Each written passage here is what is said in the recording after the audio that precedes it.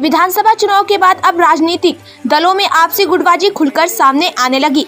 BJP विधायक संजय गुप्ता ने party के प्रदेश अध्यक्ष मदन कौशिक पर पार्टी विरोधी गतिविधियों में शामिल होने का गंभीर आरोप लगाया।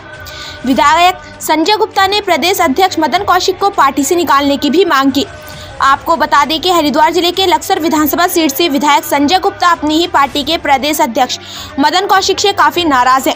विधायक संजय गुप्ता ने कहा कि बीजेपी प्रदेश अध्यक्ष मदन कौशिक पार्टी विरोधी गतिविधियों में लिप्त हैं।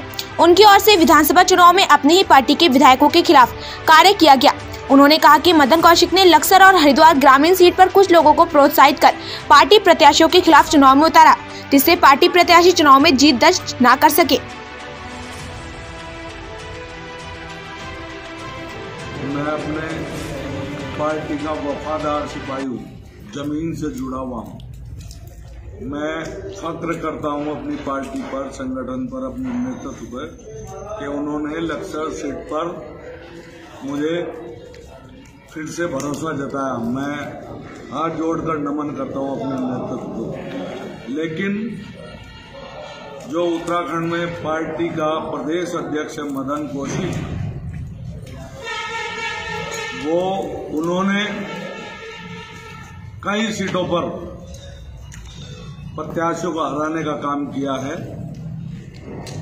और उनके जो नामित सभासद उनके द्वारा और उनके जो जो नजदीकी कार्यकर्ता थे उन्होंने बसपा प्रत्याशी के पक्ष में काम किया है मुझे हराने का काम किया है। मैं अपने नेतृत्व से हाथ जोड़कर क्षमा मांगते हुए निवेदन करना चाहता हूँ। ऐसे प्रदेश अध्यक्ष को इस, इस ऐसी राष्ट्रवादी पार्टी में रहने का कोई अधिकार नहीं है।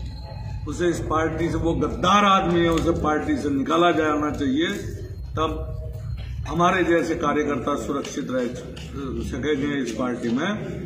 मैं हाथ जोड़कर सी झुकाकर अपने नेतृत्व से मांग करता हूँ कि उसे तत्काल पार्टी से निकाला जाए। बहुत धन्यवाद।